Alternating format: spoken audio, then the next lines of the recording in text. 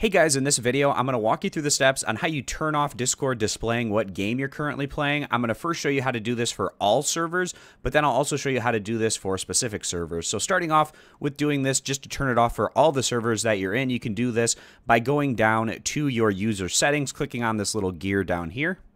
And then in our user settings, we want to scroll down and find where it says activity privacy. And right here at the top where it says display current activity as a status message, if you have this toggled on, that means it'll show what game you're playing. So we can turn this off by clicking on this little slider. And that's going to turn this off. You can also see below this, it says share your activity status by default when joining large servers. These are servers with 200 members plus. And if you don't want to share your activity status by default when joining these larger servers, then you can also turn this checkmark off as well. Now to finish off this video, I want to show you how to do this just for a specific server. So exiting out of our user settings. And to do this for a specific server, you just want to find the server name here towards the top and click on the drop down menu. That's going to give us a list of options. We want to click on where it says privacy settings.